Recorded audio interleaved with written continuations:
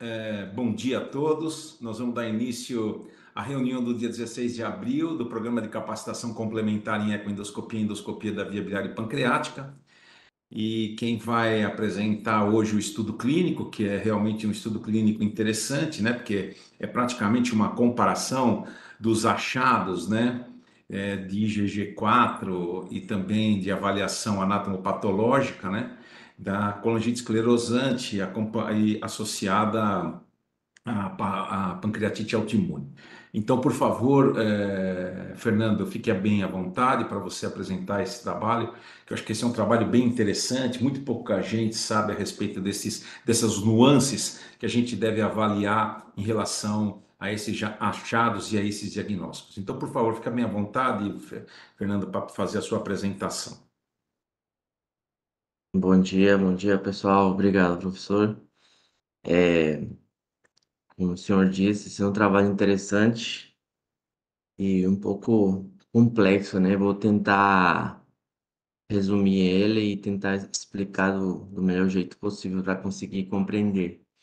Bom, esse trabalho trata é um trabalho japonês. É um trabalho que trata sobre as características clínicas da imunoglobulina IgG4, que está relacionada com a, com é, esclerosante. É uma comparação de casos de pacientes com pancreatite que apresentam pancreatite autoimune ou não associada. Tá? É, a, a, esse tipo de, de marcador, essa imunoglobulina, ela é associada à colangiopatia esclerosante, né? É um subtipo, vamos dizer assim, de uma colangiopatia e ela é uma, uma doença que pode ser sistêmica, tá? pode se manifestar em múltiplos órgãos. O sítio é, biliar seria, segundo a literatura, ocupa o segundo lugar de, de acometimento e o primeiro lugar seria o, o pâncreas, certo? É, a, a literatura também fala que 10% mais ou menos dos pacientes é, com esse tipo, esse subtipo de colangiopatia, eles não apresentam pancreatite autoimune. Tá? E ela, ela tem a característica de apresentar uma elevação sérica da IgG4, que é o marcador específico dela. Ela também tem uma infiltração de plasmócitos, né, que, dá, que é positiva na, na celularidade. E tem uma fibrose extensa da parede do ducto biliar, certo? É, esse tipo de, de marcador está também relacionado, como eu já disse, a literatura fala que está relacionado com a pancreatite autoimune. Hoje não apresentar, mas eles, é, a maioria dos casos relaciona ela com a pancreatite autoimune. E esse tipo, esse subtipo de colangiopatia, ela é difícil de diferenciar da, da colangite esclerosante primária e o colangiocarcinoma, tá? É por isso que esse estudo aqui foi feito, devido a essa dificuldade. É, nesse trabalho foram realizados é, dois conjuntos de critérios diagnósticos, tá? que é um, é um americano e outro japonês. O americano é aquele resort, que é, ele avalia a parte da histologia, a parte imaginológica, a sorologia, o envolvimento de outros órgãos e a resposta que tem essa doença à, à corticoterapia, tá? Já que é, uma, é, um, é um tipo de, de doença que responde muito bem a, a corticosteroide. Outro critério que foi utilizado foi o critério clínico de GG4, que foi associado com a esclerosante, que é um, é um critério japonês, que foi desenvolvido no ano 2012. Tá? É, no Japão, é, eles foram propostos é, vários guidelines para um diagnóstico preciso e um trata tratamento adequado da, desse subtipo de, de colangiopatia, tá? E não foi ainda estudada as, as principais diferenças da desse marcador de IgG4 específico é, em pacientes com pancreatite autoimune positivo e aqueles que não apresentavam pancreatite autoimune. É, em, no ano 2019, que foi o ano que começou esse, esse trabalho aqui, foi, foram comparados 1.096 pacientes que apresentavam um marcador específico da imunoglobulina GG4, da conjuntivite esclerosante, onde foram obtidos 872 pacientes, certo? E é, o foco de estudo, como já disse, foi comparar as características clínicas de, de pacientes com marcador IgG4 e que tinham associado a pancreatite autoimune, aqueles que tinham a pancreatite e aqueles que não tinham. É, a metodologia do trabalho, ele foi esse trabalho é um trabalho que foi conduzido de, de três oportunidades. Eles tomaram pacientes do ano 2012 até 2019. Né? Do ano 2012, eles pegaram 43 pacientes. No ano 2015 foram pegos 491 e no ano 2019 foram pegos 562 pacientes. Todos eles envolvendo aquele marcador da imunoglobulina IgG4 associada à colangite esclerosante. É, esses pacientes foram submetidos a questionários é, no Japão, em centros especializados de gastroenterologia, dando um total de 1.096 pacientes, dos quais foram excluídos 224. Tá? Esses pacientes não tinham muita informação sobre a, a pancreatite autoimune. E foram envolvidos também 193 médicos de 112 centros, especialmente de gastroenterologia. Eles conseguiram informação detalhada é, sobre esse tópico em 872 pacientes, dos quais 730 eles apresentavam positividade para pancreatite autoimune e 142 com negatividade. É, como que eles fizeram para diagnosticar é, esse subtipo de camangiopatia. Né? Eles usaram os seguintes critérios diagnósticos, foi ao assajar os característicos de, de imagem biliar, o aumento sérico do, daquele marcador específico da imunoglobulina IgG4, que está associado à esclerosante, é, alguma é, coexistência de, de uma doença que esteja relacionada àquela colangiopatia, além de estudar as características histopatológicas certo? É, os pacientes com provável diagnóstico ou diagnóstico definitivo, eles foram inclusos nesse trabalho. E aqueles com possível diagnóstico foram excluídos.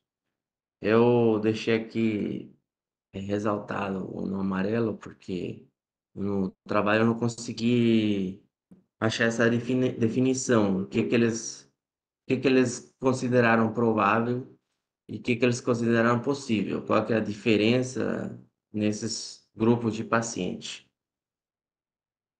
É, é, os pacientes que foram avaliados, né, entre todos que foram inclusos no trabalho, foi, foi avaliado é, características específicas como o consumo de álcool deles, ou história pregressa, se o paciente era, tinha diabetes, tinha um tipo de alergia, tinha um, um tipo de com malignidade, se o paciente apresentava sintomas como prurido, iterícia, febre, dor abdominal, que eram as, as principais características que foram avaliadas. Assim mesmo foi avaliado o espessamento da parede do duto biliar, que no ultrassom foi visto em 650 pacientes, na tomografia 525, na ressonância 440, na econdoscopia 406, e no ultrassom intraductal 284 pacientes que apresentaram essa característica. É, além disso, foi também avaliado os achados do colangiograma, a sorologia desses pacientes, o envolvimento ou não de outros órgãos e a histopatologia. É, na, falando um pouco mais da, da a ecoendoscopia e a ultrassom intraductal eles especificamente avaliaram o espessamento da parede na área onde não existia, onde não existia estreitamento na colangiografia, além de ter a preservação de três, das três capas do ducto biliar. E os achados colangiográficos que foram estudados, eles foram subdivididos em quatro tipos. É, no seguinte slide, vou mostrar a representação gráfica deles. O tipo 1 foi, foi colocado aqui como estreitamento é, do ducto biliar com um distal, eu vou colocar aqui a imagem. Esse daqui. É o tipo 2 foi estritamente envolvendo os ductos biliares intrahepáticos. E o subtipo, o subtipo 2 vale ressaltar que foi subdividido em tipo 2A e tipo 2B. O tipo 2A é aquele que apresentava dilatação prévia da, é, da estenose, e o 2B não tinha dilatação prévia, não, não foi dilatado. O tipo 3 foi visto um estreitamento em ambas regiões, proximal e distal, e o tipo 4 ele tinha um estreitamento hilar. É, eles também é, colocaram um subtipo que era que eles colocaram no classificado, que ele ficava de fora dessa classificação imagenológica que eu estou mostrando nessa figura, certo? É, assim mesmo foi estudado também é, estenoses, é, que elas foram classificadas em circunferencial, segmentar, longitudinal, ramificadas ou aquelas com presença de divertículos é, que foi estudado em estudos de CPR e ressonância também. Eles realizaram também é, testes sorológicos, marcadores de CEA e CA199, que foi 538 no CA e 710 CA199. É, a taxa de incidência de elevação sérica de IgG4 da imunoglobulina foi maior do que 135, que foi considerado o limite superior é, eles usaram como valor de corte e é 200, maior do que 270 miligramas por decilitro, foi é, duas vezes superior, acima do limite superior normal. É, sobre o marcador CA199, foi maior ou igual do que 37, que foi colocado como ponto de corte. E o CA, CA maior do que 5, que foi colocado como limite superior. É, e os valores séricos, né, que foi avaliado independentemente da, da imunoglobulina IgG4, que foi colocada para aquela avaliação colangiográfica. É, eles também viram a, se teve ou não envolvimento de outros órgãos de, dos pacientes, é, como por exemplo dacroadenite, cialoadenite, fibrose retoperitoneal, se, se apresentava lesão de rim, colecistite ou alguma doença pulmonar. Agora, falando um pouco mais sobre a pancreatite autoimune, é, ela foi o diagnóstico foi, dos pacientes foi baseado nos critérios japoneses de 2018 e um consenso internacional de critério diagnóstico para pancreatite autoimune. É, eles contabilizaram também o número de órgãos afetados que esses pacientes apresentaram e se apresentavam não edema de papila, já que foi feito também biópsia, que mais para frente vou explicar como que foi feito isso. É, entre os marcadores histopatológicos que foram avaliados no trabalho, eles avaliaram a infiltração e fibrose linfoplasmocítica do plasma, aqueles que continham mais do que 10 células de campo de grande aumento, em pacientes da imunoglobulina de IgG4 positivos. É, isso foi avaliado nos, é, em regiões específicas, como o ducto biliar, que foi visto em 331, no fígado, 57, e é, foi realizada uma, uma biópsia endoscópica da papila, né? Eles pegaram com uma pinça e fizeram uma biópsia da papila, que foi vista em 204 pacientes. Eles estudaram o tipo de citologia que apresentava aquela região, e as amostras foram classificadas de 1 a 5, em cinco categorias. A categoria 4 e 5 foi considerada como se fosse maligno. Em essa tabela aqui, ele, é, aqui resume as características dos pacientes. Eles divididos em sexo, idade, é, esse histórico que eu expliquei, se o paciente era, tinha alguma alergia, se o paciente era diabético, se o paciente tinha alguma, alguma malignidade. E os sintomas, o paciente apresentou prurido, icterícia, febre, dor abdominal, e foi classificado em pacientes que tinham marcador de IgG4, aqueles com pancreatite autoimune e aqueles sem pancreatite autoimune. É, nesse, nesse outro, essa outra tabela foi é mais focada na parte imagenológica, foi, foi estudado o, o espessamento da parede, né? É, aquele que ele ressalta mais, teve significância, foi esse daqui, tá?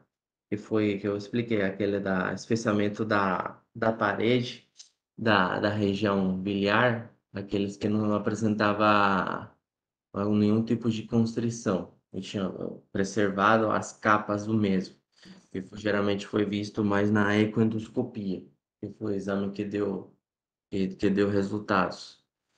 É, entre o resultado do, dos pacientes, do total do, de 872 que foram estudados, 730 tinha pancreatite autoimune positivo e 142 era negativo. Mas ambos, ambos grupos eram com imunoglobulina de IgG4 é, positivo, tá?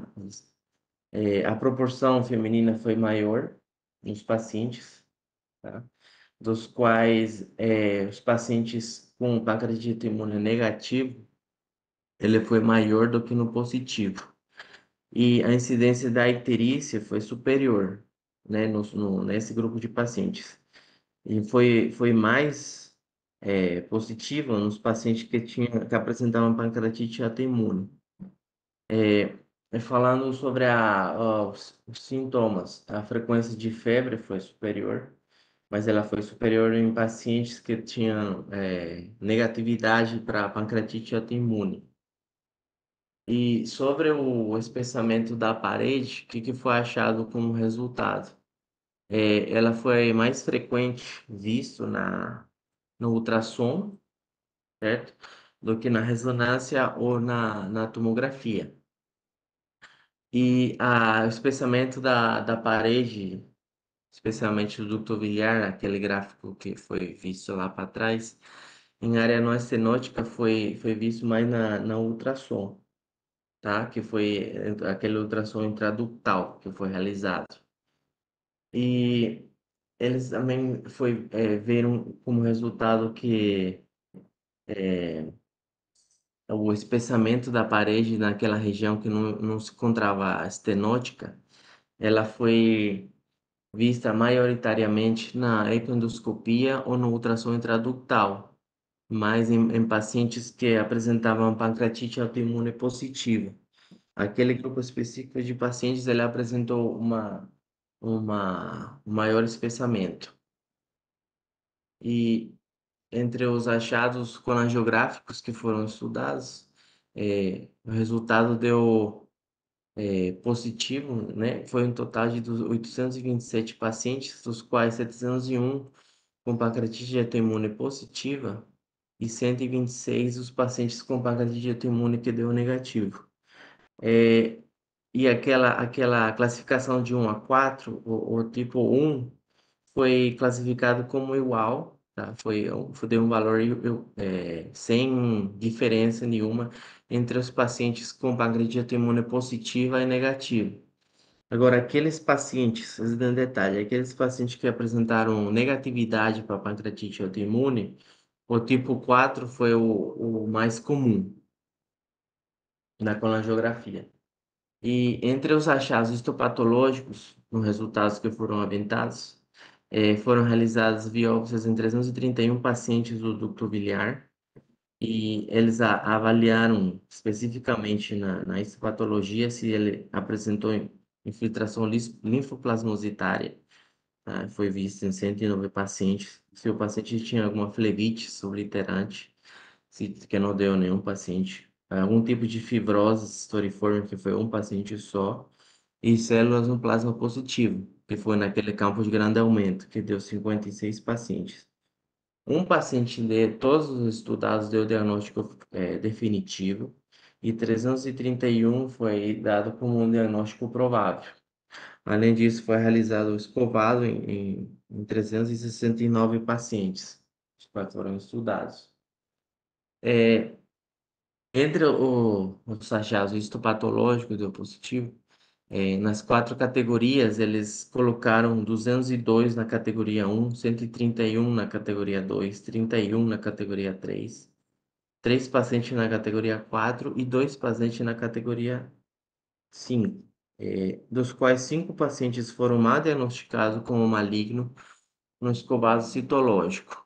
Eu também aqui ressaltei ele no, no amarelo porque ele no o trabalho não explica é, por que, que foi feito o mau diagnóstico, o, o que, que eles referem como, como mau diagnóstico, né? Que foi diagnosticado como maligno. Essa, essa parte não, não foi, não foi explícita para falar como que eles chegaram nessa conclusão. É, falando ainda sobre os resultados, é, 57 biópsias de fígado foram realizadas, e dos quais nove pacientes apresentaram aquelas células positivas no plasma do IgG4 e foram realizadas 204 biópsias da papila, os quais apresentaram 75, relevância em 75 pacientes de, que apresentaram células de plasmócito positivo. É, foram achadas aquela positividade de, dos, dos plasmócitos foi achado em mais, mais frequentemente em pacientes com pancreatite autoimune negativa do que aqueles pacientes com pancreatite autoimune é, positiva. É, entre as biópsias da papila que foram realizadas, é, aquele, aquele, aquela característica de, de plasmócitos mais do, do que 10 células, elas foram mais comumente achadas em pacientes com é, positividade para pancreatite autoimune do que aquela com negatividade. E essa tabela resume muito bem o que eu acabei de explicar, que aquele, aquela biópsia do ducto biliar com a característica específica de mais do que 10 células de, de plasma positivo em campo de grande aumento, esse aqui foi o único que teve a relevância estatística tirando fora o, os pacientes que apresentavam fibrose storiforme, flebite obliterativa, ou fibrose ou infiltração linfoplasmocítica, tá? Contando também aqueles pacientes que tiveram biópsia de fígado e aquela da biópsia da papila. O único que, que foi relevante estatisticamente foi aquele do, das células plasmáticas. É, agora, o que que, eu, que, que o, o trabalho discute? O que, que ele, ele conclui? Que o, o espessamento do ducto biliar foi, foi visto, foi, foi positivo, se, eu, se pode dizer a palavra correta, é, na ultrassonografia. Ela, ela foi mais acurada na ultrassonografia do que na, na tomografia ou na ressonância. Certo? E o, a elevação do, do nível sérico da imunoglobulina IgG4, que deu maior do que 135, foi observado em 88% desses pacientes. Tá? É, os pacientes que apresentavam IgG4 positiva e eles tinham relação, é, relação com outros órgãos, além da pancreatite imune, foi vista em, em 25,2% desses pacientes. E o espessamento da parede em conjunto com elevação sérica da hemoglobina IgG4 é, eles não teve diferença em pacientes com pancreatite autoimune positiva ou pancreatite autoimune negativa. Todo esse grupo de pacientes, ele, ele tinha monoglobulina IgG4 positiva, aquela que estava relacionada à colangite esclerosante. Outro dado que, que foi, foi é, dado como, como resultado é que o espessamento da parede do ducto biliar é característico do, do, do, daquele marcador da IgG4 associada com a esclerosante, que, como foi dito no anterior slide, ele foi visto com mais frequência no ultrassom, que deu mais do que 81%. Né? Então, é, é, é re, recomendado né, que o ultrassom poderia ser o primeiro passo a ser dado para avaliar o espessamento da parede nesse tipo de paciente, nesse, nos pacientes com essa colangiopatia específica, né, os pacientes que têm o, o marcador IgG4 positivo. E falando um pouco mais sobre o ultrassom intraductal, ele foi útil para avaliar o espessamento do ducto duodenal, não assim o ducto biliar, tá? E ele foi útil para avaliar a área não estenótica, já que ele apresenta uma imagem de alta resolução. É, a incidência do espessamento da parede, ela foi baixa naqueles né, pacientes que tinham negatividade para pancreatite autoimune. E o espessamento da parede na região não estenótica, já que devemos lembrar que a maioria desses pacientes eles têm colangite esclerosante, né? Então, o achado foi uau, considerado uau, na ecoendoscopia do que aqueles que realizaram ultrassom intraductal. Mas ele foi, ele foi mais, é, é, mais característico daqueles pacientes com, com negatividade para pancreatite autoimune. É, falando sobre a, a classificação colangiográfica que eles fizeram, aquela representação, o tipo 4 foi o mais comum nos pacientes que tinham negatividade para pancreatite autoimune. E a, e a CPRE foi, foi um, um método diagnóstico, eles só mencionaram, na verdade, no fim do, do trabalho, a CPRE, que ele foi útil para diferenciar a conatite esclerosante primária da, daqueles pacientes com conatite esclerosante com imunoglobulina GG4 positiva. E é, fazendo uma, uma comparação da CPR e a ressonância entre os achados, é, o primeiro lugar é o astenose segmentar, ela foi avaliada. Em segundo lugar, aqueles pacientes que apresentavam estenose longa. E sobre o, falando sobre os dados dos níveis é, laboratoriais, é, não teve diferença de pacientes com níveis séricos baixos entre pancreatite autoimune positiva e aqueles com pancreatite autoimune negativa. Aqueles pacientes que apresentavam o nível sérico da, do marcador IgG4, ele foi visto mais na, no tipo 4. E a IgG4 é, associada com a esclerosante, ela está mais relacionada com a pancreatite autoimune, de fato. É, o, o achado de pancreatite autoimune num paciente é, é útil no, no achado do marcador da imunoglobulina IgG4, já que eles estão intimamente relacionados. E a relação da imunoglobulina IgG4 com envolvimento de outros órgãos, ela é igual em pancreatite autoimune positiva ou aquele que apresenta negatividade. É, naqueles pacientes que foi realizada uma biópsia da papila, ela ajuda no, no diagnóstico da, da positividade da IgG4, que é maioritariamente o último em pacientes com pancreatite autoimune. E o diagnóstico histopatológico da, da IgG4, ou seja, achar esse, esse tipo de, de alteração é difícil na, na toma de amostra do, do ducto biliar. É, o que, que eu posso falar sobre os pontos favoráveis de, desse estudo? Né? Já que foi, foi falado sobre a, a imagem, a clínica, a, a sorologia, é, que existe uma, uma relação de, de pancreatite autoimune e colangite esclerosante. Tá? É, características imagenológicas entre, entre diferentes subtipos que existem, eu posso dizer que o, espessamento da parede do ducto biliar é um, é um ponto que a gente deve se atentar na hora de, de avaliar esse grupo de pacientes. E o que, que eu considero o, algumas limitações do estudo, alguma coisa que eu, eu, os autores acham que pode ter diferido nos resultados que o equipamento no, no, diagnóstico, né, que foi usado e a metodologia entre um hospital e outro pode ter sido diferente, pode ter sido é, pode ter sido levado em conta de, de outro de outro ponto de vista.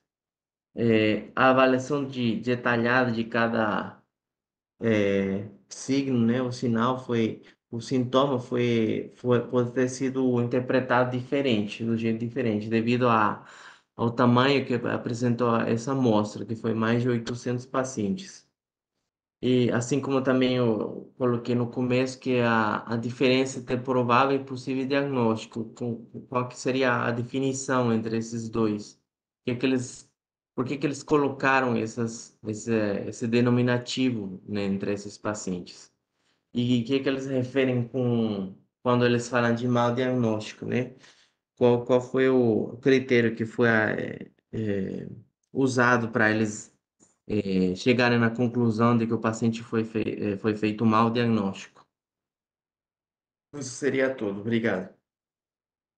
Obrigado, Fernando, pela sua apresentação. É, como vocês puderam perceber, né, esse é um trabalho é, interessante porque ele fala a respeito das características clínicas, imaginológicas e também é, do ponto de vista laboratorial para fazer um diagnóstico que na prática clínica diária da gastroenterologia é extremamente difícil. Tanto fazer o diagnóstico de uma pancreatite autoimune, quanto fazer o diagnóstico clínico de uma colangite esclerosante, ainda mais quando ela está relacionada ao IgG4, não é fácil. Então, o intuito desse trabalho foi chamar a atenção de que a gente tem que pensar né, nesse tipo de avaliação. Então, a gente tem que ver que realmente é, é extremamente útil nós conhecermos o doente como um todo, principalmente na avaliação por imagem, mas uma coisa tem que ficar clara, e eu acho que esse é o ponto mais importante para nós que estamos dedicados à avaliação através da ecoendoscopia, é que para você ver o diagnóstico de imagem, ou seja, identificar o espessamento ou a chamada é, colangiopatia, né, ou a coledocite, é o aumento, é o espessamento da parede. E a ecoendoscopia, como foi bem dito aqui nesse trabalho, é a primeira opção, ou seja, a ecoendoscopia vai conseguir fazer esse diagnóstico. Quer seja ela convencional, quer seja ela por uma ecoendoscopia ou uma ultrassonografia intraductal. Então, acho que isso é muito importante. E lembrar que existe uma relação muito grande, né? entre a pancreatite autoimune associada à colangite esclerosante relacionada ao IgG4.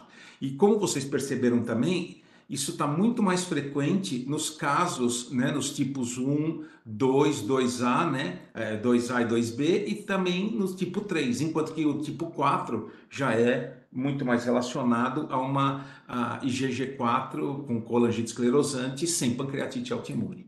Então, esses são os dados mais importantes que a gente pode lembrar disso. Eu acho que com certeza muitas pessoas já devem ter visto isso, né? E uma coisa importante que eu sempre digo e que eu me lembro muito bem que o professor Ligorri sempre dizia é o seguinte: você só consegue fazer o diagnóstico de uma doença quando você conhece essa doença. Se você não conhece essa doença, você não vai conseguir fazer esse diagnóstico. Então isso é uma coisa muito importante, então por isso que a gente eu vi esse trabalho, um trabalho japonês, um trabalho japonês bem complexo, eu até quero agradecer o Fernando, porque não é fácil. Eu acho que ele foi, ele foi bem em relação a isso. Quero parabenizar o Fernando em relação a isso. E quero abrir agora a discussão para o pessoal que está aí. Então, quem quiser fazer algum comentário, alguma pergunta ao Fernando, porque eu acho que, eu acho que é um ponto bem interessante.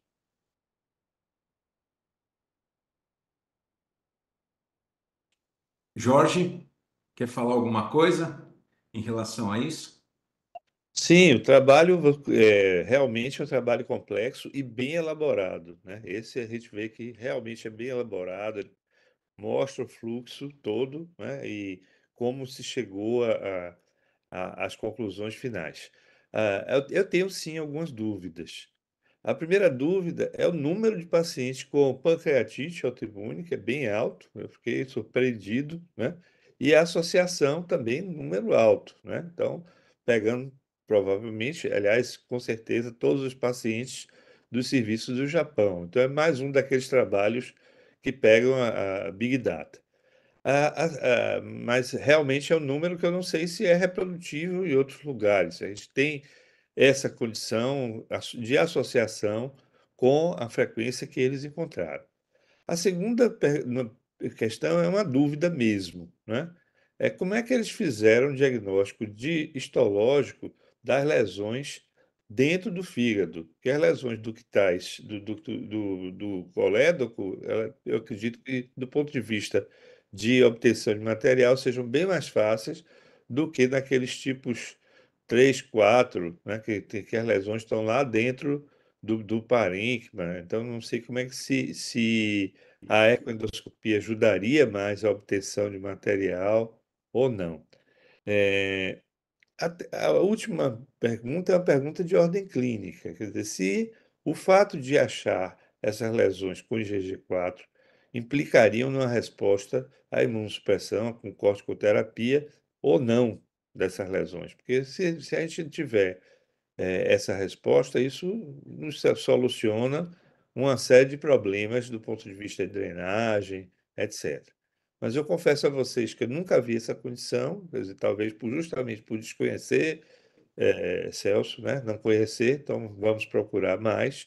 Estou me lembrando aqui, não sei se o Marcos Clarinho está aí, mas de um caso do Roberto Santos que eu mandei para ele, que é exatamente aquele é tipo 1 ali, né, com afilamento progressivo do colédoco. Então vamos pensar mais nessa, nessa na, condição. Na porção distal, né, Jorge? Na porção distal. É, na porção distal, exatamente. E lembrar também né, de que o diagnóstico da síndrome IgG4 ela envolve uma condição sistêmica. E se a gente não considerar isso, a gente corre o risco de diagnosticar demais, porque a presença de níveis elevados de IgG4 por si só, eles não fazem o diagnóstico da síndrome, né? Então a gente precisa ter aqueles outros critérios, precisa ter a presença de doença autoimune em outro órgão, né? Então é, a resposta ao corticoide, se a gente não for não Infelizmente, aqueles critérios de resort lá da Clínica Maia continuam sendo bastante é, úteis para fazer o diagnóstico de, é, diferencial nessa, dessas condições, porque senão a gente fica diagnosticando com base apenas em nível sérico de GG4, que eleva em tudo quanto é condição que vocês possam imaginar. E então, vocês perceberam, né? Isso é uma coisa que você falou importante, Jorge. Nesse grupo todo, só 88% tinha IgG4 elevado. Ou seja, você não faz o diagnóstico em 22%, né? Então, Exato. se você basear o seu raciocínio único exclusivamente no IgG4 sérico elevado, você não vai fazer esse diagnóstico. Exato. Então tem que pegar os outros critérios aí. Mas realmente é um trabalho importante para nos chamar a atenção, né? E pensar, e a, e a implicação seguinte é se essas estenoses respondem bem à corticoterapia ou se a semelhança da colangite esclerosante clássica nos propõe um problema de, eh, de tratamento do ponto de vista de drenagem, sobretudo quando, quando o estreitamento é intrahepático e não extrahepático. Então, é, isso, isso, que você falou, Jorge, é uma coisa importante, interessante. Eu já tive a oportunidade de ver casos de pancreatite autoimune onde eh, eu identifiquei, por exemplo, o que eu chamava de coledocite, né? ou seja, um espessamento importante da parede. E confesso que não, naquela época, não tinha pensado numa colangite esclerosante por IgG4.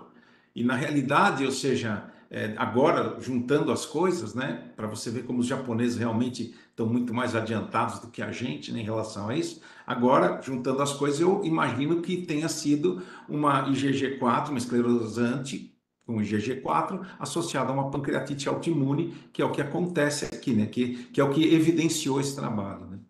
Perfeito. Raquel, você quer falar alguma coisa? Fica bem à vontade. Bom dia, bom dia a todos. É, assim, a nossa experiência não é grande, acho que de ninguém, porque não é uma patologia tão frequente, mas as, os quadros que nós tivemos com comprometimento biliar, é, e a grande maioria, todos os casos, nós tivemos juntos pancreatite autoimune.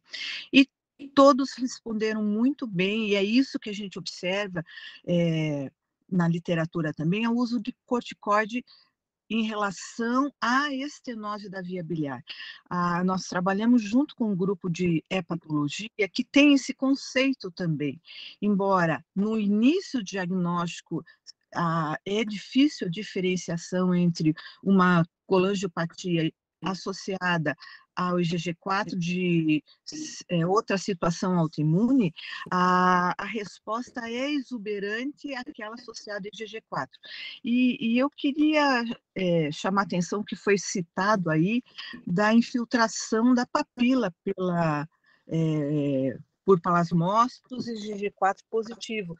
Então, é algo que eu tenho tentado é, sempre fazer, lembrar da biópsia dessa papila, que não é difícil, principalmente se ela tiver protusa, que pode nos ajudar no diagnóstico, né? E então é exuberante a resposta no meu ponto de vista, inclusive a gente faz o diagnóstico muitas vezes diferencial com neoplasia por essa por, por desaparecimento dessa estenose da via biliar com a introdução do corticoide. E outra coisa em relação ao trabalho, que ficou essa dúvida do diagnóstico definitivo ou provável, eu acho que eles simplesmente usaram os critérios como o Jorge bem salientou, os critérios resort que já que eles mesmos colocam. Se tiver, por exemplo, histologia já é um critério definitivo. Se tiver só imagem IgG4, é, é, é a imagem característica com IgG4 bastante elevado é definitivo, mas se tiver só isolado um dos outros critérios, aí é provável, não é definitivo. Acho que foi essa a definição que ele usou, mas deveria ter citado, seria mais fácil para todo mundo. Muito obrigado, Raquel, por seus comentários. É exatamente isso. Você lembrou de um ponto importante, né? Eu já vi trabalhos na literatura fazendo o diagnóstico de colangiopatia, né, em casos isolados, descritos na literatura, com a biópsia da papila, né? Ou seja, você pode fazer a, a, o diagnóstico das doenças relacionadas ao IgG4, ou seja, a síndrome do IgG4, com o diagnóstico da, da, da biópsia da papila. Esse é um ponto importante. Então, não esquecer de fazer a, a biópsia da papila, né? Fala, Humberto, por favor, fique à vontade. Bom dia, cumprimentar a apresentação, Fernando. Então, esse, esse trabalho, assim, me, me, me ajuda muito na diferenciação das, das estenoses, vamos dizer assim, de indeterminadas das vias biliares. Por quê? Que a maioria dessas estenoses, e principalmente as distais, estão acompanhadas da pancreatite autoimune. Então, fica mais fácil da gente fazer o diagnóstico sem, sem a gente precisar fazer é, toda aquela, aquela sequência de investigação das estenoses biliares ditas indeterminadas.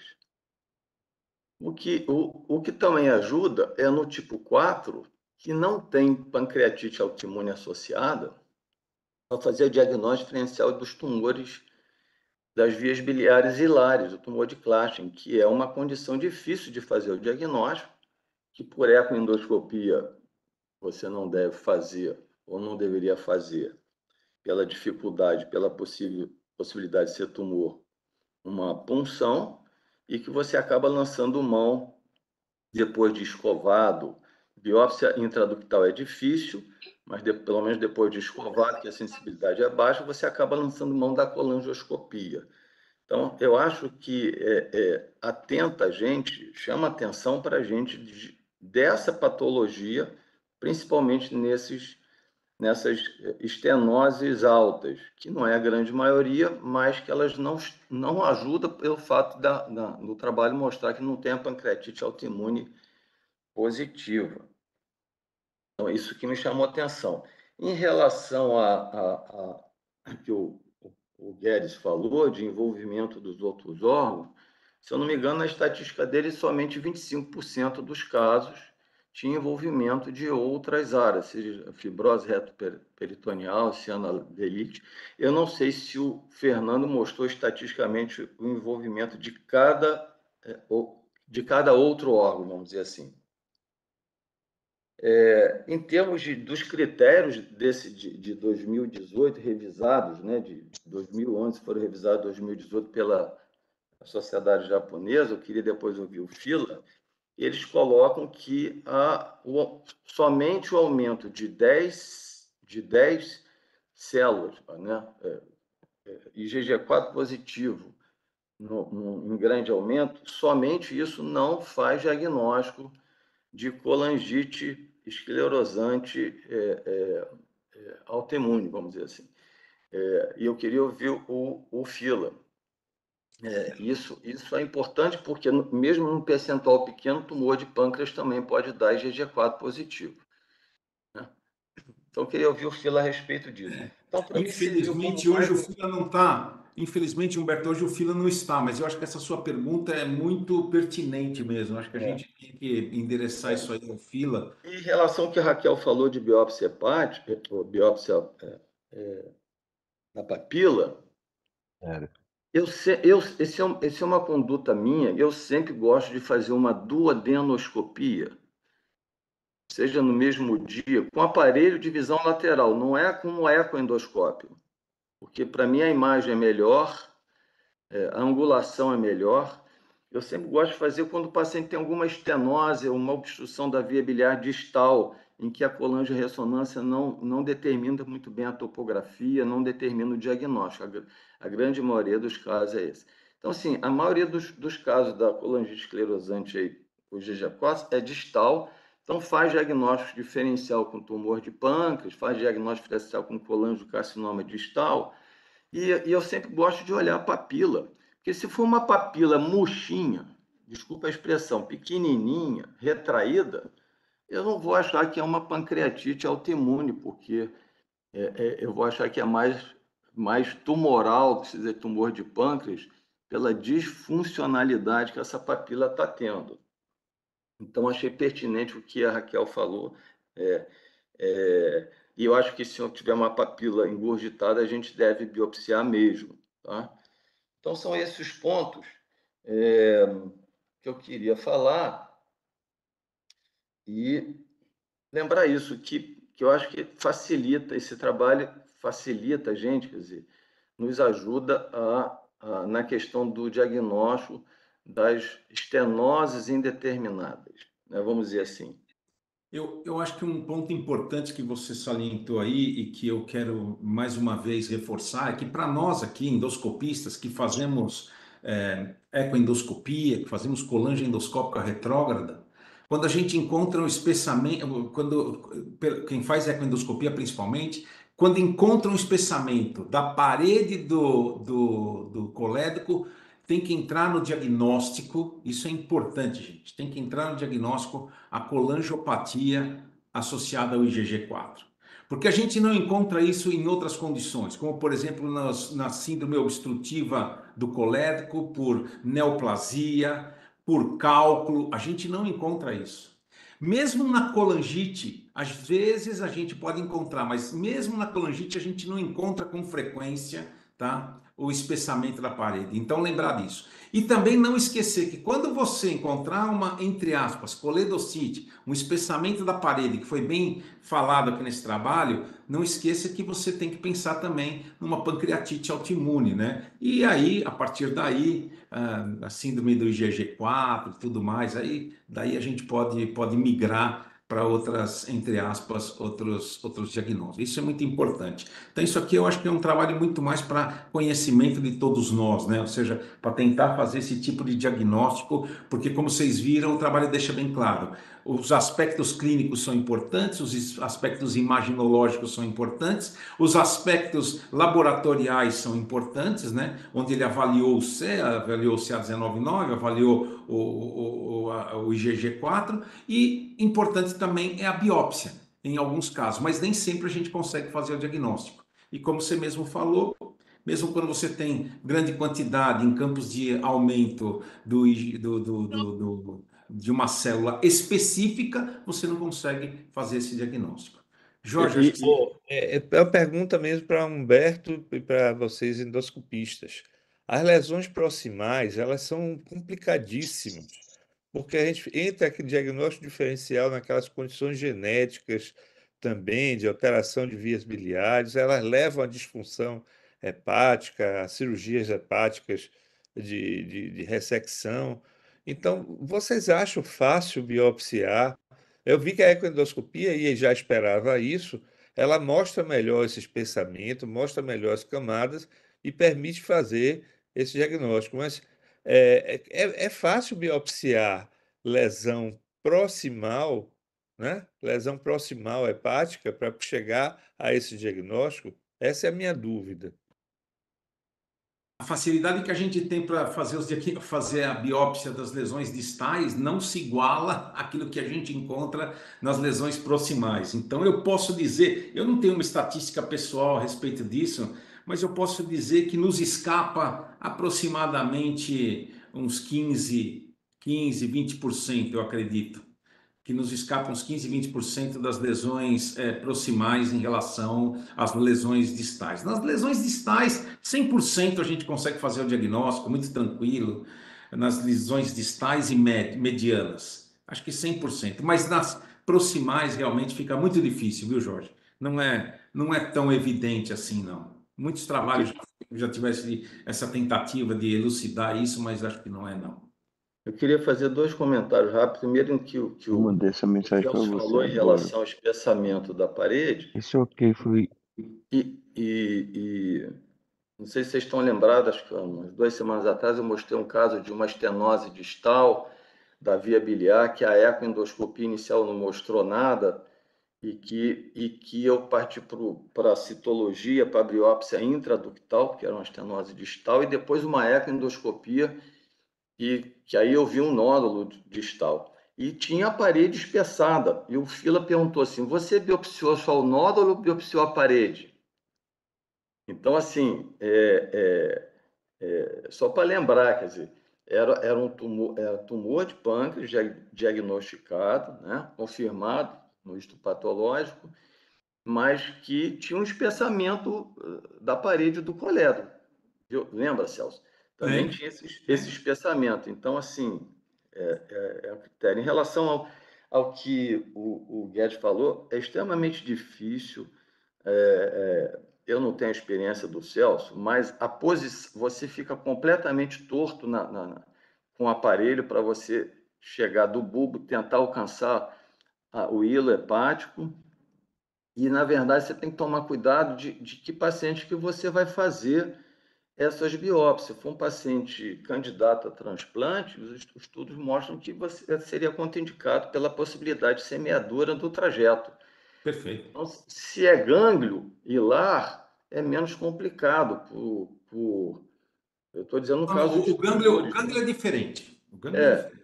é, no caso de tumores. O gânglio ele tem um efeito de massa muito grande e você, encola, é. você consegue fazer o diagnóstico. Mas é. nesses casos é muito difícil. Muito é difícil. muito difícil, né? E a, e a, colangios, a colangioscopia, que no, na, na sociedade japonesa está colocado, como está na sociedade europeia, é, nesses casos, eu não tenho experiência para falar para os Jorge que a, que a gente faz o diagnóstico fácil com, com spy bite lá, lá em cima. Quanto mais alto, mais difícil.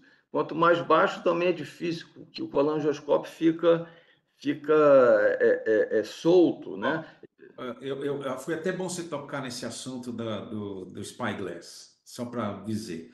Eu já tive a oportunidade de fazer, por exemplo, nos, na, na colangite esclerosante, não é fácil, os, os achados são difíceis, você às vezes não tem muita alteração na parede, ou seja, na mucosa do coisa, é muito difícil. E, e, e, você não você só a, a, o spyglass serve muito bem para fazer o diagnóstico de colangiocarcinoma porque aí tá, a, a, mucosa está toda alterada você tem formações polipóides você tem alteração da mucosa aí você consegue fazer o diagnóstico então é, realmente é muito difícil você pode usar como ferramenta mas não é sempre que você consegue né isso é, é muito difícil gente alguém tem mais algum comentário a fazer a respeito desse trabalho Perfeito. Se ninguém tem mais nenhum comentário, vamos passar então agora. Humberto, acho que você queria apresentar um caso. Fica bem à vontade aí para apresentar, por favor. Se você puder é, compartilhar sua tela.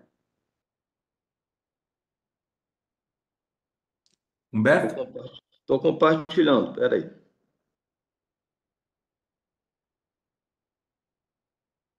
Peraí, peraí.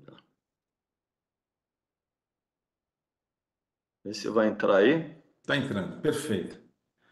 Humberto, vou pedir para você apresentar bem rapidamente, tá bom? Tá bom. Então vamos tá lá. Tá bom. É, o, então, esse, essa é uma paciente de 35 anos que me procurou há 5 anos com quadro de dor abdominal. Eu não tenho os exames da época, porque ela perdeu os exames, e ela tinha sinais é, de imagem de uma pancreatite crônica. Ela não fez acompanhamento, simplesmente desapareceu. Segundo ela, não procurou mais nenhum outro profissional. E me voltou agora com o mesmo quadro de dor de com, com surtos numa maior frequência e com, e com é, é, de maior intensidade. Fiz essa radiografia é, abdominal simples que mostrou essas duas imagens cálcicas na topografia do pâncreas, tá? É, aí eu vou. Peraí que eu não. Só lembrando, só lembrando aí para os mais jovens, né, que essas duas formações é, cálcicas, né, no, raio-x de abdômen, dão, fazem um diagnóstico, né, de um, de um, de um processo de pancreatopatia crônica, né. É, se o Jorge quiser fazer algum comentário rapidinho, acho que essa é uma imagem bonita, né? Acho que. Acho É, que se isso chamava antigamente sinal da constelação, porque aparecia, mas assim, quando é pouca, quando é pouca lesão e, e do tamanho que está essas calcificações, não sei se a gente consegue fechar esse diagnóstico, não. Não, mas se, se você perceber, Jorge, olhar bem mais fixamente, você vai ver outras pequenas concreções cálcicas. Ah, estou vendo. A É, a isso miríade é uma pancreatite crônica calcificante, acho que não tem É. muito o que, que falar. né? Chama-se a- sinal da constelação, é uma miríade de, de, de É. calcificação que acompanha a, a silhueta do pâncreas Está distribuído pela, pela glândula pancreática, a gente vê nitidamente ali, né? É bonito, um, ca- uma radiografia bonita. É, lembrando, lem- lembrando que nem todos os casos faz, faz cálculo intraductal, né? Faz essa constelação, a maioria dos casos, né? Vamos Bom, lá. Esse, não sei por que não está passando. Espera aí, gente. Ah, então, aqui a gente tem a colangio-ressonância atual, mostrando falha de enchimento no ducto pancreático bem dilatado. Eu vou passando. Se alguém quiser parar, me interrompe, tá bom? Essa foi feita em janeiro agora, de 24. Mais uma vez, ah, vou passar um filmezinho aqui no, no, no centro, a imagem do centro.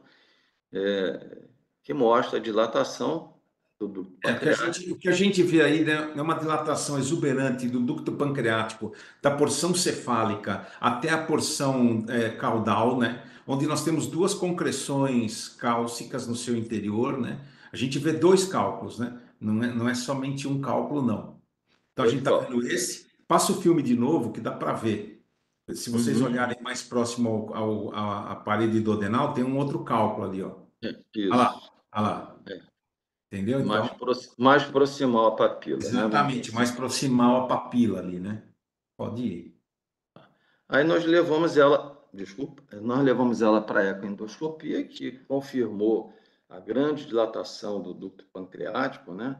medindo eh, quase 15, 15 milímetros, com esses cálculos grandes, eu vou, eu vou passar aqui. As concreções cálcicas na cabeça do pâncreas, como o Jorge alertou aí, e uma vez plênica bem dilatada, né? que, me, que me faz pensar assim, poxa, é, é, esse pâncreas está tá fazendo uma, uma obstrução na, nessa veia pela, pela, pela fibrose, uma retração, né? É, nessa veia esplênica. Aqui, de novo, são imagens repetidas. Aqui, a gente, na imagem da direita, a gente foi feliz que pegamos os dois cálculos dentro do ducto pancreático e que chegou a medir longitudinalmente, numa das eh, medições, 13, 14 milímetros tá? de, de cálculo, de, de tamanho dos cálculos. Então, aqui eu, trou eu trouxe aqui para discutir a hipótese né, quer dizer, de uma pancreatite hereditária. Se vocês me permitem, eu vou passar alguns slides, inclusive é, alguns slides do professor Red, lá da, lá da Índia, que fez uma aula recente e ele me cedeu é, os slides. São poucos slides da aula dele, na aula Vamos toda. lá, vamos lá, Humberto. Pode ir, bem E- rapidinho. é, E esse, e esse aqui, quer dizer, essa- a, a- a pancreatite hereditária foi descrita em 52 e hoje já se sabe que tem mais de 20 mutações no gene serine protease, que então aumenta a alta ativação do tripsonogênio intrapancreático com destruição do pâncreas. Né? É, é, esse artigo ele coloca que os esforços pré-clínicos ou seria para diminuir essa alta ativação com alvo no tripsinogênio e a tripsina. Aqui ele coloca as alterações genéticas com ativação do, do tripsinogênio, alterações do PR, PRSS1 e a, e, a, e a diminuição da degradação também da, da, da do tripsinogênio, né? aumentando a tripsina e a, a pancreatite, as lesões da pancreatite crônica. Esse artigo aqui, só para uma amostra, é um, um artigo australiano que eles detectaram em 10 famílias 44 casos de alterações genéticas, a maioria desse gene, PRSS1, eram, eram famílias indígenas, e que o, o, o, em 84%, na tabela aqui do lado, essas alterações começavam com, com a idade menor que 10 anos. Então, assim, uma doença de início é, é, é, na adolescência ou pré-adolescência, e que, e que a grande maioria, quando eles interrogaram os pacientes, a grande, mais da metade dos pacientes falavam que tinham é, de, de 5 a 10 crises de alta intensidade ao ano. Então, praticamente uma crise mensal né, que vai debilitando. Esse aqui é só para ilustrar que eles compararam as alterações genéticas com outros países da Europa, não vou me deter aqui. E aí, esse outro trabalho, eles fizeram uma avaliação é, é, é, físico-social e eles trouxeram uma, uma, um, um nome, vamos dizer assim, de uma rotura biográfica desses pacientes, por alterações é, do trabalho, laboriais, alterações, é, é, interferências na família, na vida social, o medo, a incerteza, a experiência repetida do ataque agudo que esses pacientes têm e a dificuldade recorrente de integrar a fase aguda com a vida diária. Então, aquele primeiro trabalho foi uma amostra, assim, praticamente um episódio de dor aguda forte por, por mês, né? Então, é uma doença instável, em evolução e imprevisível. É um foi uma avaliação muito mais é, é, ética, de, de, institutos éticos da Alemanha, multicêntrico, com 24 pacientes. Eu achei importante isso, né? Porque a gente pega o paciente com doença aguda e tal, é um ataque agudo. Para quê? Para a gente é tipo, tipo um ataque, mas a gente, assim, quantos ataques por mês você faz? Quantos ataques por, por ano você faz? E é uma doença é, é, realmente é, incapacitante. Perfeito.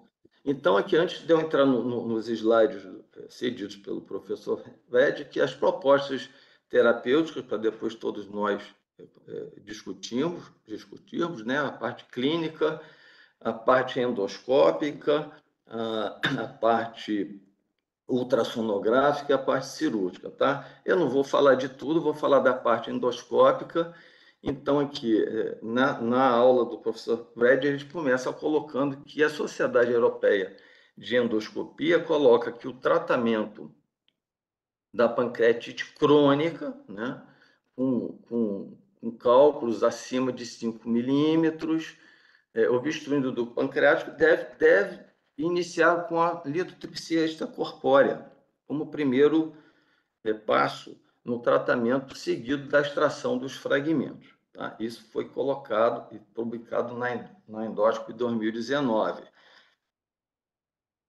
Aqui uma foto ilustrativa da litotripsia extracorpórea, seguido da CPR para o clareamento da via pancreática. E aqui é um trabalho com 5 mil pacientes que eles observaram um clearance incompleto da via pancreática em 72%, parcial, um clearance parcial de 17% e insucesso em 10%. Tá? Esse também é publicado em 2019. É, vamos lá.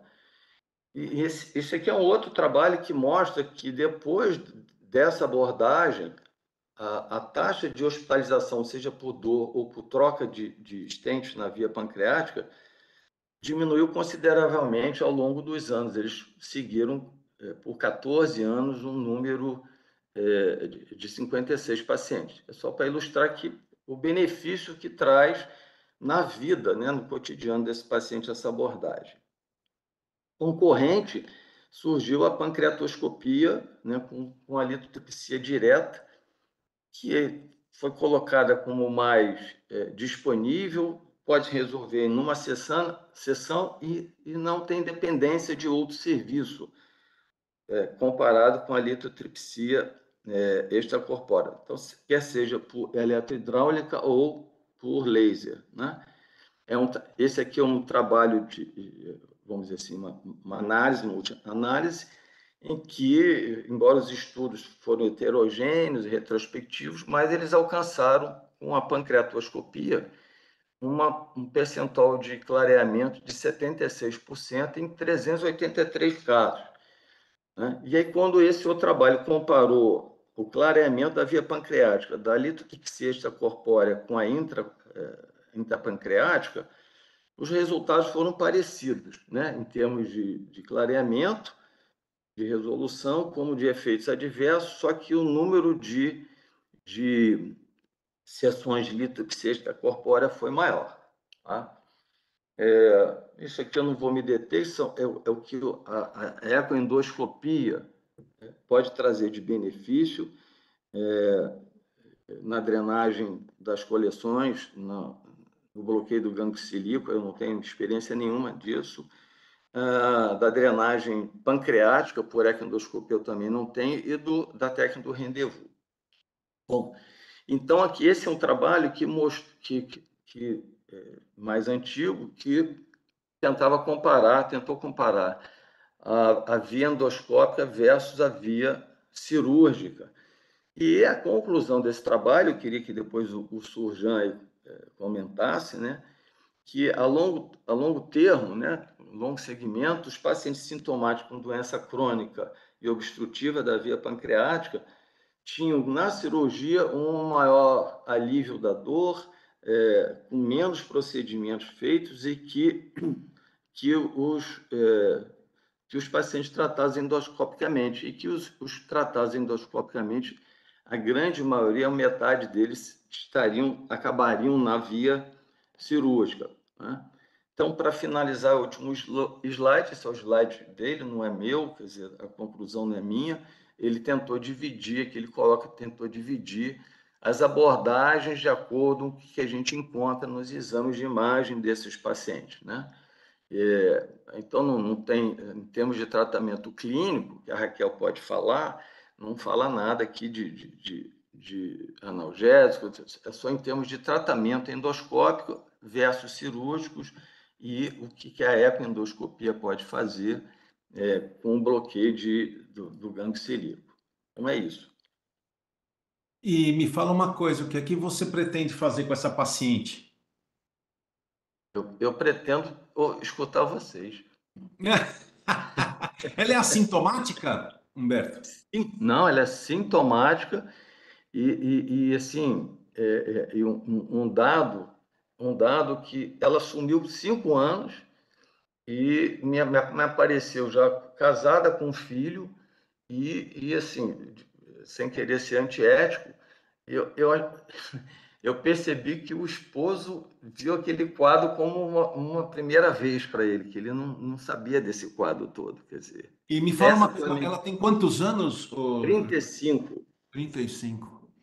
Jorge, você quer falar alguma coisa? Dados bem rápidos, né? Primeiro, isso, é, esse trabalho, esse caso, ele é, traz de volta uma questão, né? que é a questão do paradigma da pancreatite crônica. Esse paradigma que o Sarli tão também pensou como ligado à secreção ductal e a uma doença ductal, hoje é, se modificou porque a gente sabe que tem processo inflamatório e que a calcificação ela não é somente intraductal. Mas tem casos como esse aí, onde o componente ductal, o componente obstrutivo, ele é importante, sim, ele vai fazer progressão da doença se não tratado. Né? O, o Surjan até é, me mostrou um caso relativamente parecido. Quais são os problemas que a gente tem no tratamento dessa obstrução ductal que acontece na pancreatite crônica? Primeiro, o tratamento com endoprótese é, é, é desastroso. A prótese vai causar mais obstrução, vai fechar e, e, e só vai trazer problemas. A litotripsia é, a experiência na época de utilização não foi boa, não foi boa, porque são cálculos, até o Columbano Junqueira, né, ele menciona que esses cálculos são especulados, que, não, que a gente não consegue, da mesma, com a mesma segurança que a gente consegue para via urinária, fazer a litotripsia, mesmo a litotripsia endoluminal, entendeu, Humberto? Mesmo a litotripsia endoluminal, os resultados não são bons. Então, para esses pacientes, resta uma, a proposta cirúrgica, mas eu penso que não seria proposta cirúrgica de ressecção de parênquima. A proposta seria de drenagem do ducto pancreático principal, de fazer, colocar uma alça ali, né, para abrir o ducto pancreático principal, sua extensão maior, tirar esses cálculos e fazer um, e colocar uma derivação dele em alça, não fazendo ressecção de parênquima. Esses casos de pancreatite hereditária, é, não vou chamar hereditária porque tem uma mutação específica, mas de pancreatite genética, né? eles podem ser estudados no Brasil, a gente tem acesso a isso, temos casos sim, né? e é muito comum essa história de jovens né, com pancreatite de repetição, como Humberto mostrou. Infelizmente, não temos ainda tratamento genético, mas podemos tirar os demais fatores de agressão pancreática e, sem sombra de dúvida, a cirurgia tem sim um espaço quando há uma dilatação ductal importante com grandes cálculos. Já a endoscopia e já os procedimentos não é, é, endoscópicos, né, procedimentos extracorpóreos, eu não acredito muito neles, não. E, sobretudo, pelo amor de Deus, não tentem botar endoprótese nesses pacientes, porque é desastre certo. A pancreatite aguda acelera, o processo de, de crônica piora. Então, eu acho que o tratamento para isso aí, para essa paciente, inclusive, se ela tiver sem dor, não fazer mais nada. Mas se estiver tendo crise de dor, eu faria sim uma cirurgia derivativa do, do ducto pancreático principal. Tenho proposto isso para os colegas cirurgiões. É Ô, isso. João, é, é, é, eu só que. Bom, então tá bom, você volta para a cirurgia, que eu acho que ela é uma grande candidata à cirurgia, uhum. embora é, é, é, eu, acompanhe, eu, eu tenha acompanhado muitos casos de litotripsia extracorpórea, na época que eu passei lá no serviço é, na Alemanha, eles têm muitos casos e eu vi uma resolução importante, seguida, a litotripsia extracorpórea seguida da CPR mas não sei no tamanho desses cálculos dessa paciente. Né? Eu acho que pode ser revisitado esse tema, entendeu, Berto? Isso é o tema. Na época, o professor Dani trouxe a litotripsia para o Brasil, para Minas, e os resultados, porque o problema é que o processo inflamatório ele não é intraductal, não tem somente um cálculo lá. Aí tem um processo de parênquima que, que esse tipo de procedimento ele não vai resolver. Ele resolve o componente obstrutivo da evolução clínica, mas não, não resolve o componente inflamatório. Mas eu acho que isso é um tema, concordo, considerando todas as, as possibilidades, eu acho que deve ser revisitado esse tema, né? tentar ver se temos material aí de bibliografia para revisitar, porque pode ter evolução nesse sentido também. Raquel, você quer falar alguma coisa? Infelizmente a gente está sem o, o, Rodrigo aqui, mas eu acho que é um, esse é um caso extremamente interessante. É, é, Celso, é, o que eu considero é o seguinte: já tem definição, já tem alterações morfológicas de pancreatite crônica. Nessa situação, se o paciente tem dor, tem manifestação clínica de dor, com dilatação importante da, da, do canal pancreático, a desobstrução ela traz é, melhorias cirúrgicas ou endoscópicas. E então a endoscópica nessa situação, não é no caso inicial que você ainda não tem alterações morfológicas, mas já tendo essas alterações morfológicas, a colocação de prótese não vai agravar, é o que, não é o que a gente observa. É, o problema é esse cálculo grande ali que vai dificultar, é, às vezes, a extração às vezes não, na maioria das vezes é muito difícil a extração somente com CPRE. É, a impressão que é uma dilatação difusa, né? Não, eu, eu não tive certeza se tem uma curta estenosezinha bem é, junto ao orifício papilar, que pode ser dilatada é, e, e daí tentar tracionar esse cálculo e colocar prótese. E, e, nessas situações nós deixamos prótese por um ano. É, não é como na via biliar, a, a, a, manutenção da prótese no canal pancreático em pancreatite crônica com alterações, eu tô, repito isso, com alterações morfológicas, não tem problema. E a gente via isso com, com melhora da dor, o paciente fica, a, a, a melhora é imediata, ele fica sem dor, se é esse o problema. É claro que uma agudização da pancreatite crônica com um processo inflamatório pode trazer a dor, mas é, em geral a desobstrução num caso tão característico como esse que o é, Humberto trouxe traz melhoria. Outro dado importante que a literatura é, é, tem trazido para pancreatite hereditária é nas alterações iniciais fazer tratamento endoscópico para evitar maiores disfunções futuras. Então, eles estão recomendando, sim, fazer a desobstrução é, do canal pancreático. Perfeito, Raquel. Eu queria, queria só fazer um. Pode falar, pode falar, Humberto. Rapidinho, pode falar. Não, rapidinho. Para falar que eu estou repondo enzima pancreática, obviamente, mesmo que ela não tenha é, sinais clássicos de disfunção é, é, é, exócrina nem endócrina do pâncreas, tá? não está diabética, é, não está perdendo peso, não tem uma síndrome absortiva, mas a gente está repondo. E falar que eu, eu tenho poucos casos de abordagem endoscópica, mas em cálculos mais proximais à cabeça do pâncreas e de menor tamanho. Então, é, é, não com litotripsia, simplesmente abordagem é, endoscópica com litotripsia mecânica dentro do ducto pancreático e com colocação de prótese, o paciente fica bem, depois tirar a prótese depois de um ano, fica bem e pode voltar, a gente reaborda.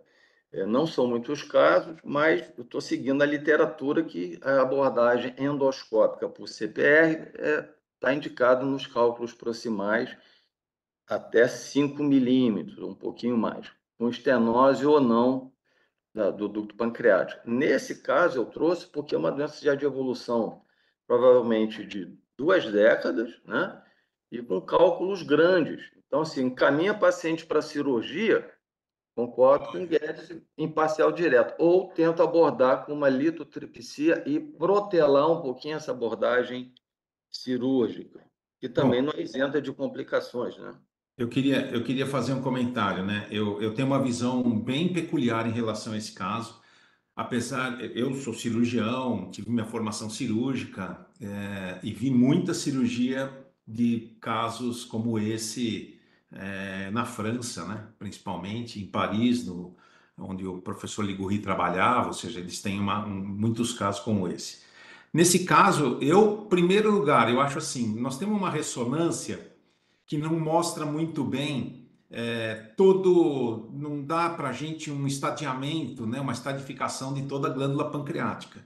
Eu acho que a gente, eu, eu proporia para esse caso inicialmente uma complementação propedêutica com uma ressonância magnética, uma colangiopancreato ressonância magnética 3 Tesla, ou seja, onde você conseguiria ver com muita precisão aonde estão os cálculos e quais as estenoses que você tem que franquear. Pelo que eu vi aí, eu proporia inicialmente para esse paciente um tratamento endoscópico. Eu acho que o tratamento endoscópico é sempre a primeira opção em praticamente na maioria dos, dos casos de pancreatite crônica. Eu acho que é, é óbvio que a gente tem que estudar caso a caso, mas eu proporia. É, o medo do Jorge não é a nossa experiência mesmo, não é a minha experiência em relação às próteses é, você ter pancreatite ou você ter alguma coisa desse tipo, né? Eu acho que quando você trata mesmo uma pancreatite aguda, você faz a, aí eu tive, já fiz vários pacientes, você faz a esfincterotomia, você coloca a prótese, inclusive eu tenho colocado prótese metálica autoexpansível. Eu já tive um caso, que inclusive está publicado, que a gente tinha uma fístula pancreato portal, uma dilatação exuberante do ducto pancreático, eu coloquei uma prótese metálica autoexpansível totalmente coberta e não tive nenhuma reagudização, absolutamente nada.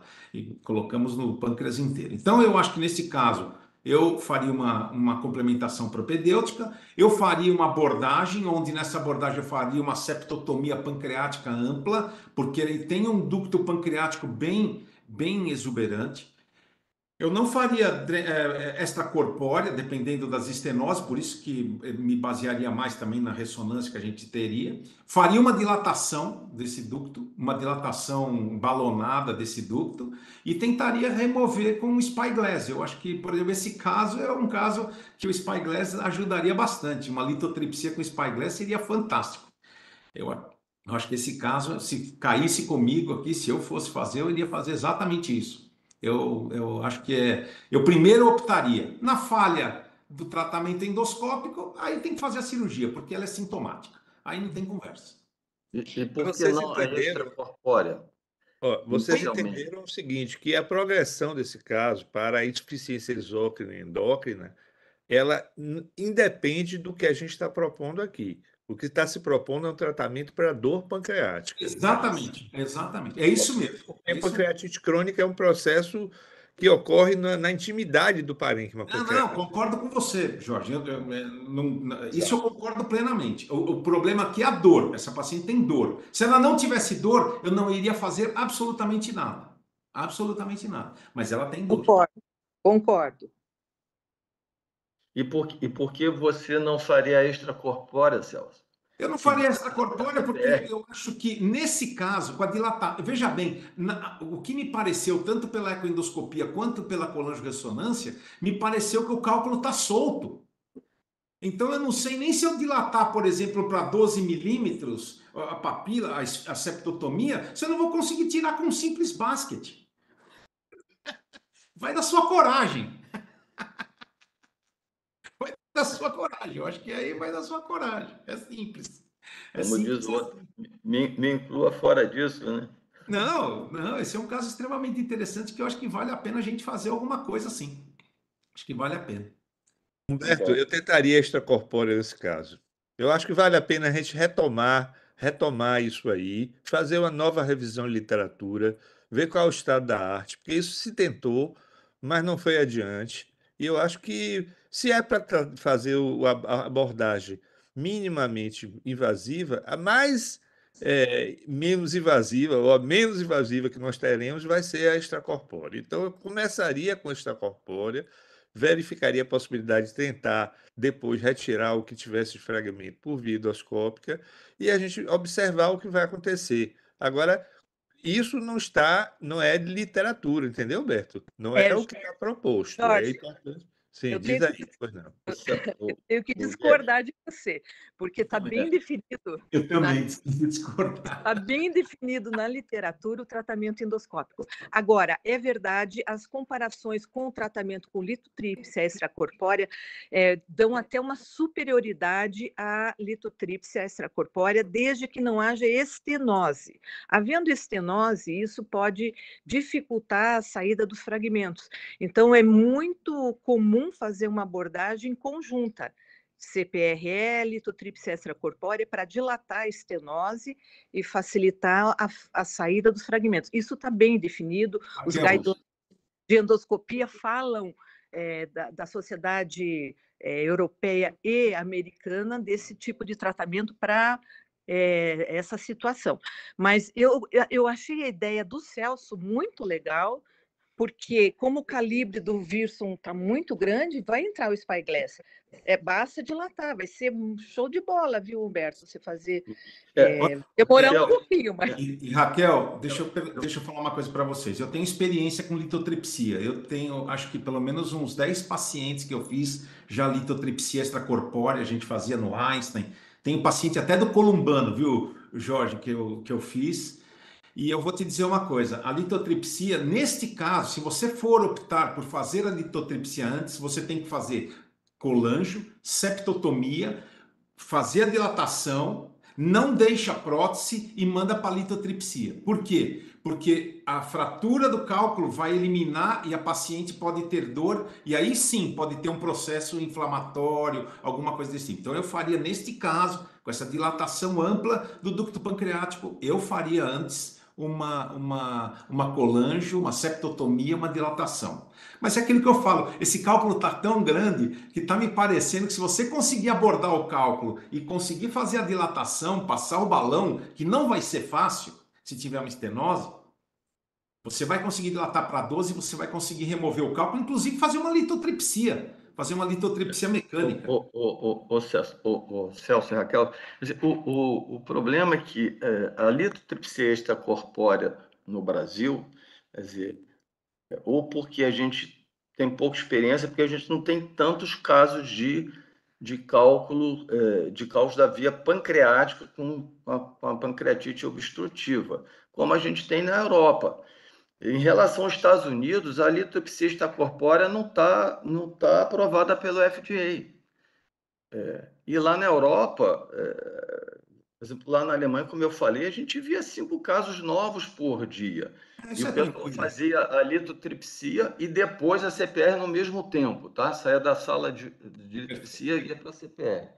Bom. É, e a, a dilatação de, dessas estenoses, né, Celso, é, elas são extremamente rígidas. Sim, é, mas, caso, mas você não vai ter complicações eu... com elas.